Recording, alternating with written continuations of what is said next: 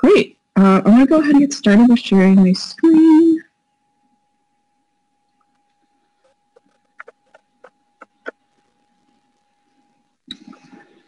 So today we'll be focusing on the College of Architecture, but I do want to just give kind of an overview of WashU.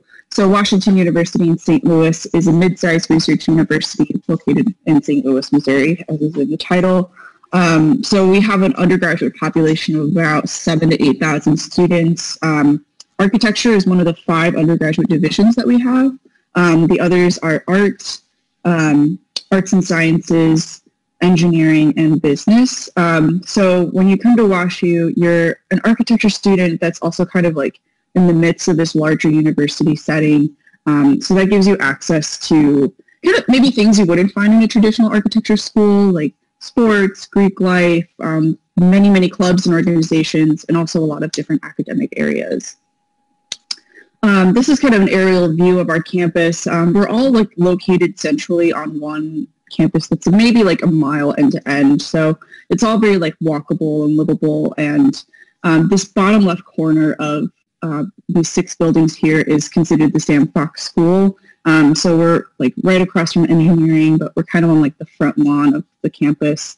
Um, I do want to point out that this whole kind of like front half in front of Brookings, this castle, is actually all new. Con- um, a lot of construction has been done in the past couple of years, and we've put in like a new underground parking garage. We have um, built five different new buildings, um, and one of those is uh, Weill Hall, which is part of the Sam Fox School. Um, Weill Hall is LEED Platinum certified, which is really wonderful sustainability-wise, um, and uh, serves as the studios for our graduate programs. We also do have graduate programs um, in illustration and visual culture, visual arts, architecture, landscape architecture, urban design, etc. Um, and also houses our new digital fabrication suite. So if you do have the chance to visit campus at some point um, in the future, um, you'll be able to see kind of our, our refreshed and newly, um, yeah, just newly redone campus. Um, so I do want to like explain even what the Sam Fox School is because it's kind of a unique concept. Um, it's actually three different entities kind of all under the same umbrella. Um, it's the College of Architecture, which we'll be focusing on today. We also have a College of Art associated with us, and we also have an art museum, um, which is called the Mildred Lane Kemper Art Museum. Um, this is quite different than what you'd see typically in a university. Art and architecture departments are usually like completely separate, um, but for our school, we really wanted to kind of acknowledge the intersection of um, areas of art, design, architecture, fashion, um, etc. And that's why we formed the Sam Fox School. Uh, so when when I say Sam Fox School, it means all these things, but um, but also architecture. Um, so in the College of Architecture, we do have two different degree paths. Um, we have a Bachelor of Science in Architecture and a Bachelor of Arts. These are both pre-professional uh, degrees. Uh, so on your path to licensure, you would be required to do a master's program at some point. Um, so that's just something to note, and we can you know talk about the differences between professional and pre-professional. But um, I do want to note that um, the Bachelor of Science is more, is heavier in the architecture credits and has more of a kind of capstone senior year um, where you're doing um, major architecture uh, projects. Versus the Bachelor of Arts um, allows more flexibility in credits for um, kind of double majoring or studying across disciplines you do not have to know at, like at this point which one you want to do um, as an applicant um, you're just basically applying to architecture and then figuring out your degrees is something that you do when you talk to your advisor who you know might be georgia so. Um, we also have three different minors within architecture. So you can um, major in architecture and minor in landscape architecture urban design or architectural history and theory so um, the program really starts, we just like hit the ground running with design. Um, it is a design and, making oriented program. Um, you will get your hands dirty or sticky or, or whatever. Um, and when you arrive as a first year student, you're immediately assigned a studio space, um, kind of in the larger um, architecture studio. and this kind of becomes your home base for making and for experimentation. Um, like I mentioned, we're super, super hands-on, which um, we start the program very analog, which means you're going to be working with paper or basswood and gluing and cutting and really kind of getting physical. Um, and we're a program that really kind of emphasizes both the importance of doing things um, both by hand and also on the computer. Um, and just the way that kind of working back and forth helps you understand space differently than just like using the computer entirely. Um, but uh, really the, the program kind of introduces you to um, just how to be a designer and how to address the way that humans interact with a built environment. Um, so your first five semesters, you go through um, what's called like the core semesters. And it's the specific sequence that runs you through different kinds of natural themes, um, like air, water, light, climate, etc.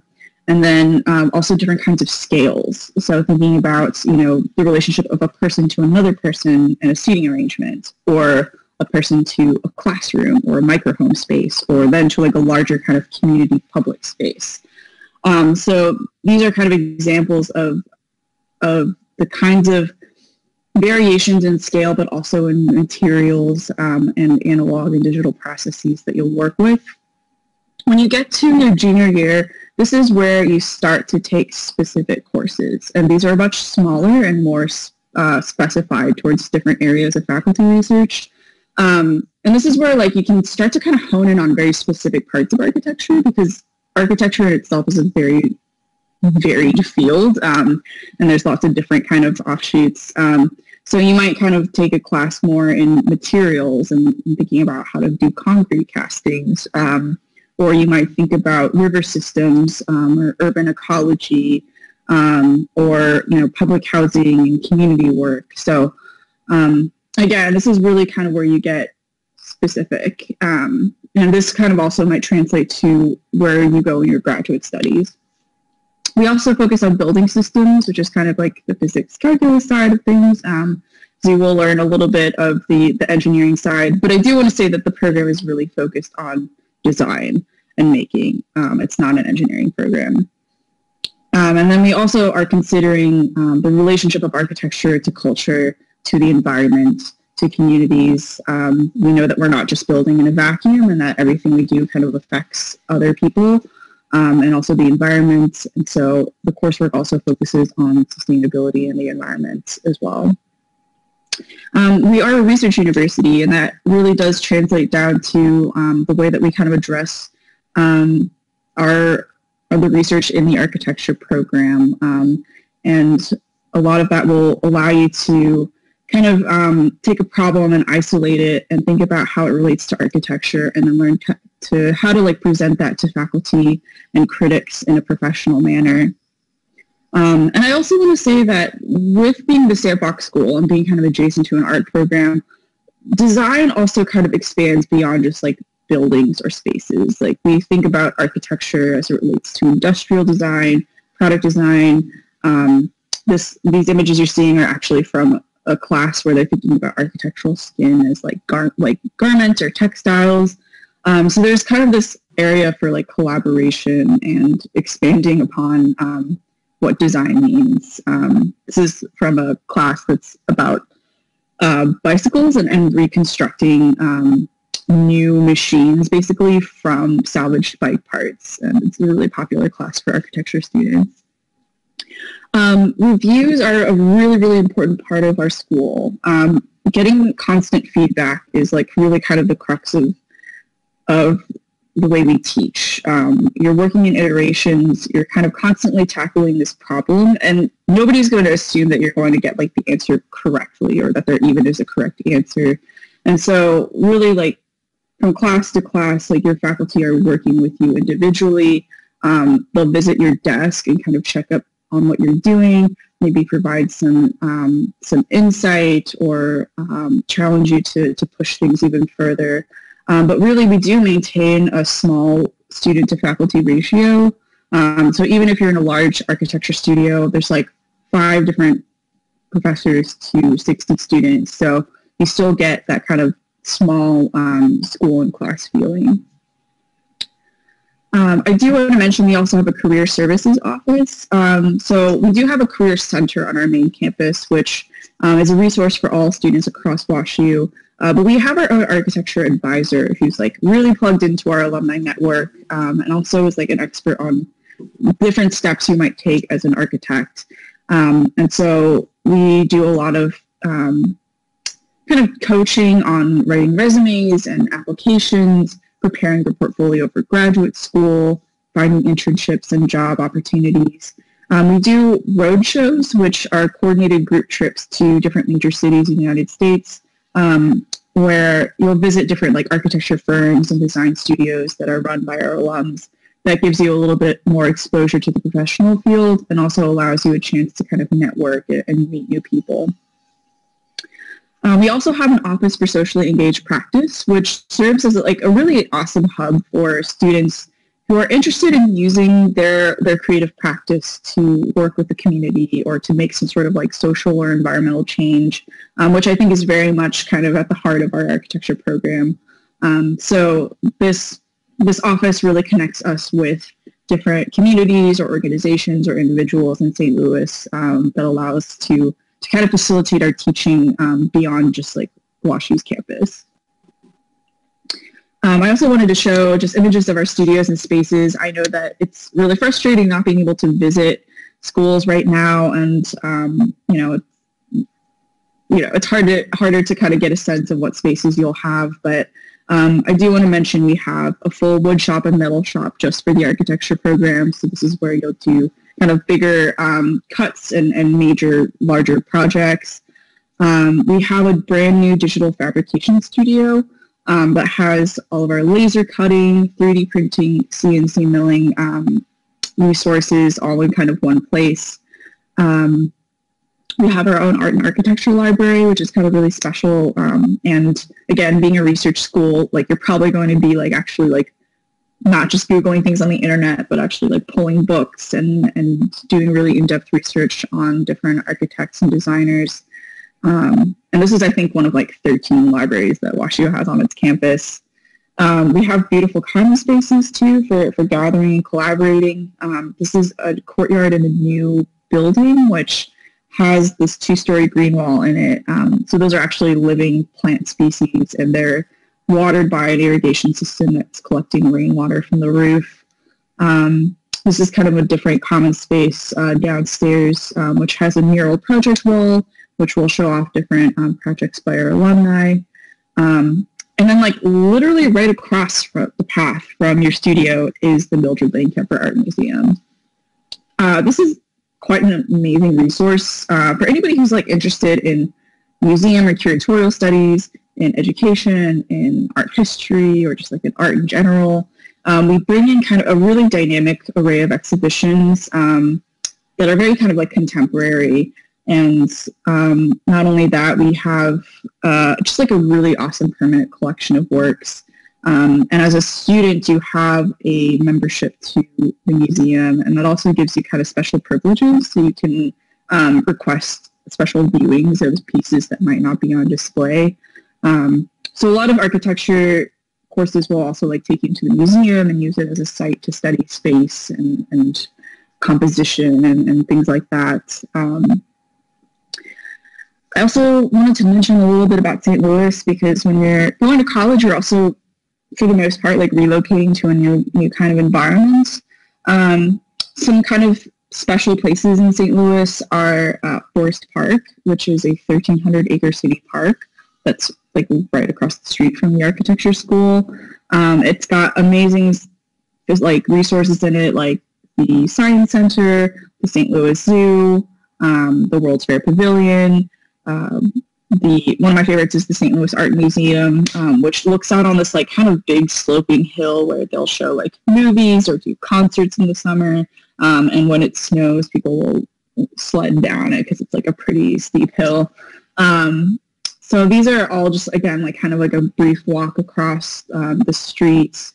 Um, and all of these faci- places that I mentioned are also free to visit. Like they don't require admissions fees, um, which makes kind of viewing art and culture around St. Louis like very affordable. Um, kind of like further into, um, or like deeper into St. Louis City, there's um, Grand Arts Center District where we have um, the, the Fox Theater. Um, this is the Pulitzer Arts Foundation, which was designed by Tadao Ando, who's like a really famous architect. Um, and it's right kind of adjacent to the Contemporary Art Museum where some of our students have actually had the opportunity to do like these kind of um, installations. Um, and uh, not far from us, we also have a, a, really wonderful sculpture park that you'll probably visit for a class. Um, and beyond that, like St. Louis is just a really, it's like a mid-sized city. It's an affordable place to live. It's the number one place for startup companies right now.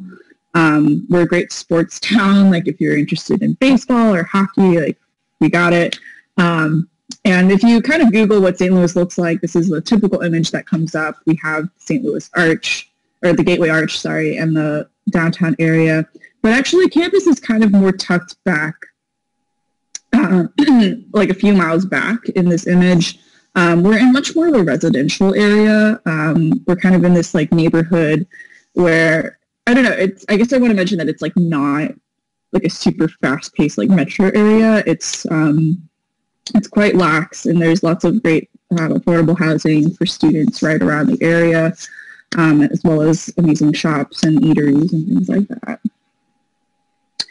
So I won't spend really any time talking about the admissions and portfolio process since you're all seniors, you've already gone through that process. But um, if you have chosen to submit a portfolio for architecture, it is a, um, a pretty significant part of your application.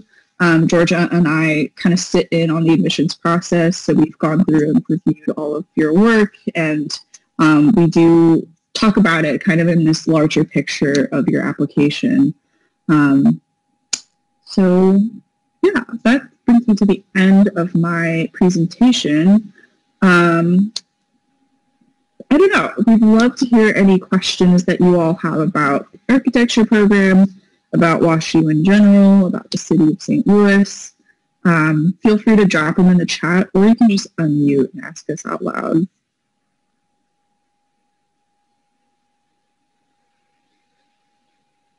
Um, Tanya asked, uh, or sorry, um, Taylor asked how many architecture students are in the program in all years. Great question. In the undergraduate side, there's about 200 students total.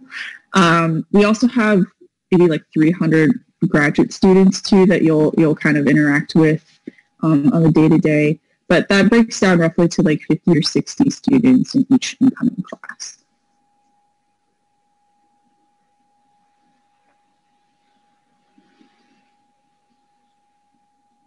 And I will uh, mention that the small size also like means that you're not competing a lot for like your faculty's attention or for the use of facilities and resources. Like I, I feel like there's not like all these people like trying to get into the laser lab at the same time. Like there's like space and there's time um, for our students because we're a small program. Georgia, we have a question. Is it possible to minor in civil engineering? I'll let you answer that question.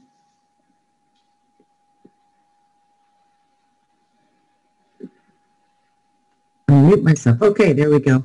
Um, the engineering school is one area where it's not quite as easy to do second majors or minors. Uh, computer science is one that you can do. You can certainly take courses in engineering and we can try to put together a program for you, but I think it might be unlikely that you could do a minor. And I will say, I know that there's this kind of general interest in, in combining architecture and engineering, but I think at our school, they're kind of quite different. Again, like engineering is engineering, architecture is, is really about design. I would say that it doesn't put you at like a professional disadvantage to not have like engineering studies somewhere in your college career. Because um, when you get to the graduate level, and also like when you work in an architecture firm, you kind of work collaboratively with engineers to kind of execute designs and buildings. So I would say that like don't feel like really stressed about not being able to like fit in a bunch of engineering credits. Um, you'll still learn important um, physics and calculus stuff as it relates to architecture, and then you'll learn a lot about how to be an amazing designer.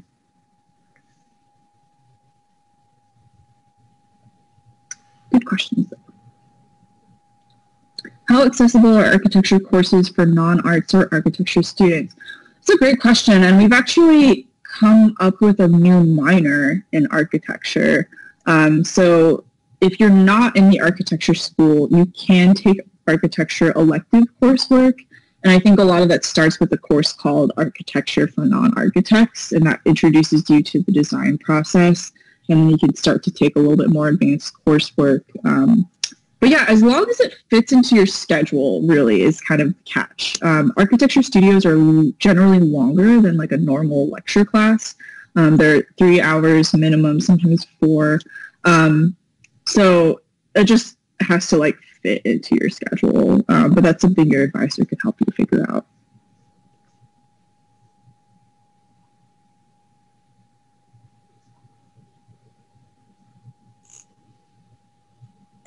What other questions do people have?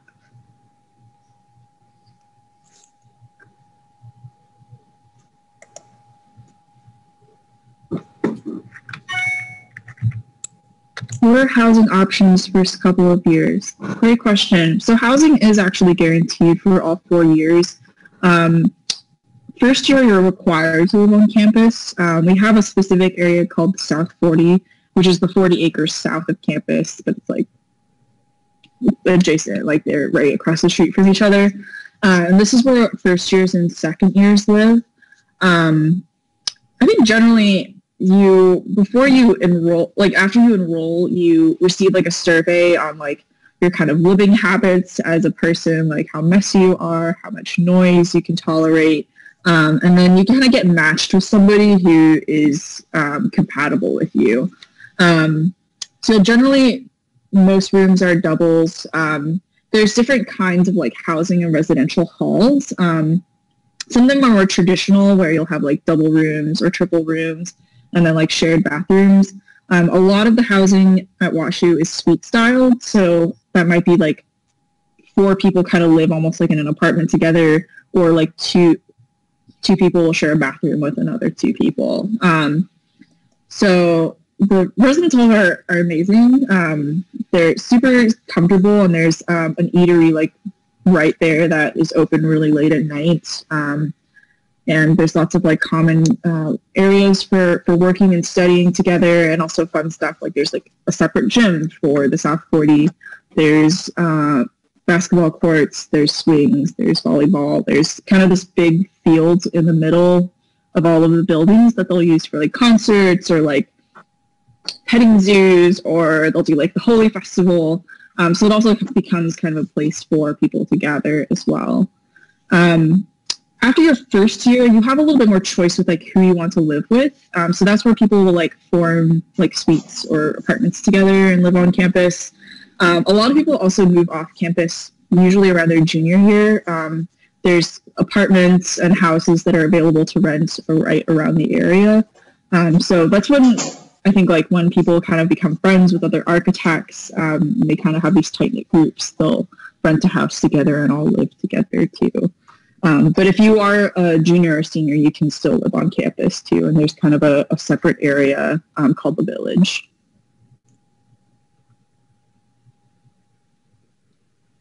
Good question.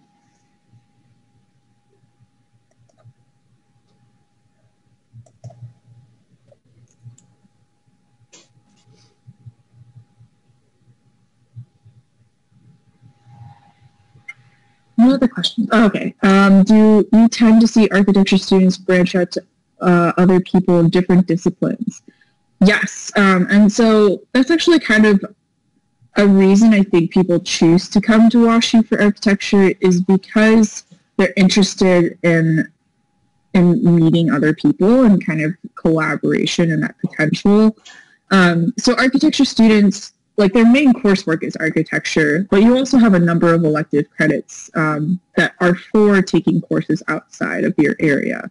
Um, so we have people in architecture who are interested in environmental science or psychology or urban studies or even things that aren't necessarily like directly related to architecture, like they might study a language or they might be in arts. Um, there's like 90 other different majors that you can take courses in. Um, and so I think a lot of architecture students, you know, make these really kind of tight knit groups of friends within their discipline, but also have the potential to meet so many people outside through the classes that they're taking, through who they're living with, um, through clubs and organizations, through Greek life, sports, etc.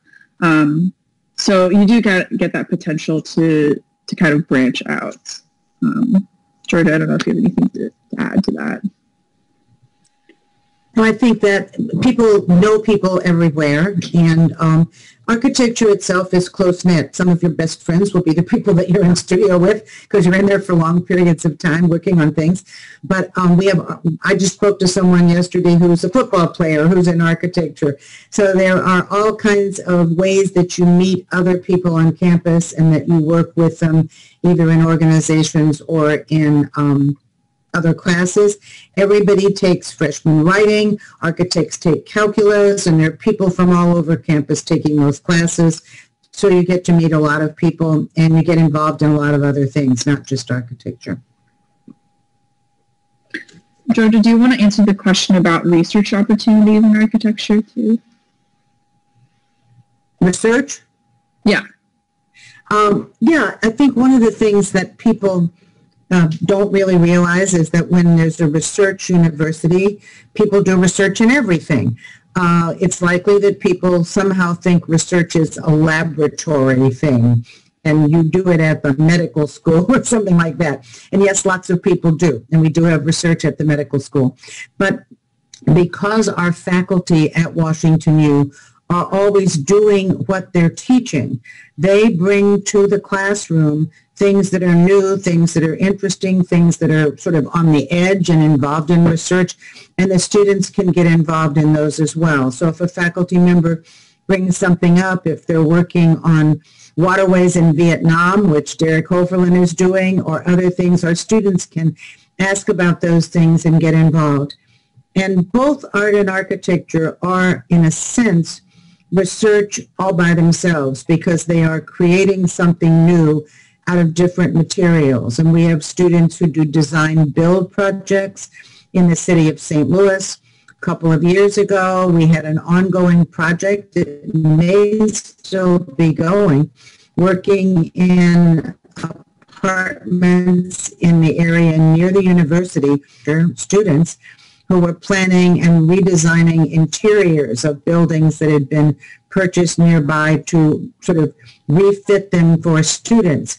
And so there are opportunities to study, research, invent, create, work with faculty, create projects on your own. There's actually an office of research on campus and you can apply for grants to work with summer research. So lots of opportunities and it really just takes you hearing about something and being interested and asking and then you can become involved.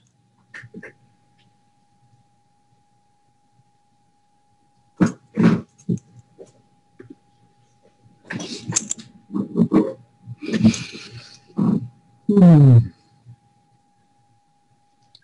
Can we talk about favorite projects that architecture students have gotten involved in outside of school? Georgia, I feel like you know a lot, a lot more about those. Well, some of them have been design build. Uh, a few years ago, uh, students uh, completely reworked a parking lot in the city of St. Louis and turned it into an outdoor garden for a, a public grade school. It involved getting permission to use that space, which wasn't being used, and planning it and making it work for a place where students had a, an outdoor playground that was actually green and had bushes and trees and plants. We have students who have done um, solar housing projects. There's a couple of those. We have an organization on campus in the architecture school called um, NOMAS, which is the National Organization of Minority Architects, and they have competitions every year where our students um, create new buildings or new structures, and so they will become involved in creating that. We've also had students who've worked on interior designs at our medical school, and that went on for a couple of years in buildings um, just on the other side of the big park in front of our school is our medical school and um, they will invite students to work uh, on interior spaces there. And so they're able to go there and investigate and figure out how to redo an area that will make it more accessible, more interesting. So there are almost always opportunities for students to do designed build projects, not usually on our campus, but often in the city surrounding us.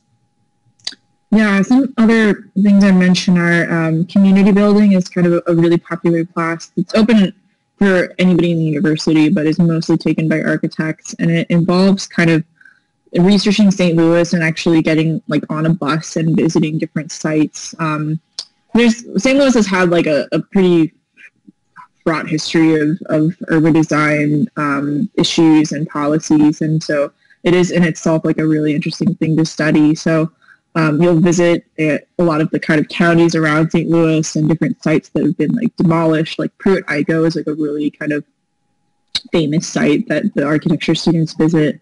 Uh, I know that uh, this is a really popular class, but um, Derek Hoeferlin teaches a class about like river systems, and he they all they study like the Missouri and the Mississippi River and the confluence, and they actually like do a kayaking and canoeing trip like down the river to like actually be on it. So I know that the students really enjoy that because they actually get to get outside and and and visit the site.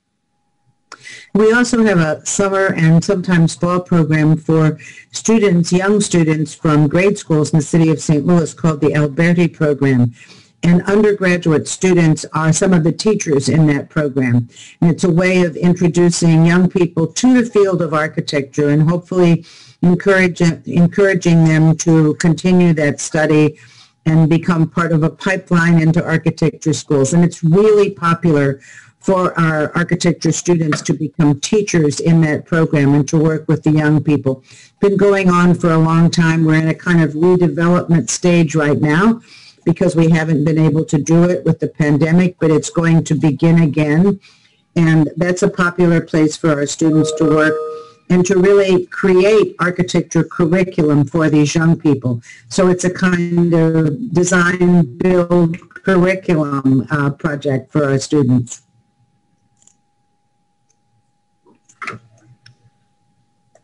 Great question. Thank you.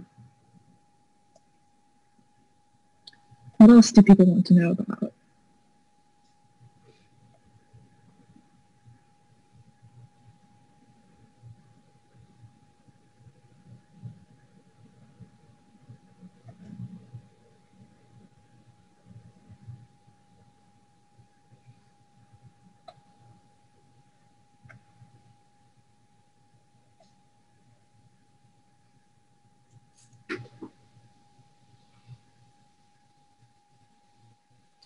Well, in the case that we're not getting any more questions, um, I will hang around in this session um, in case anybody wants to hang back and just like kind of chat or um, talk one-on-one.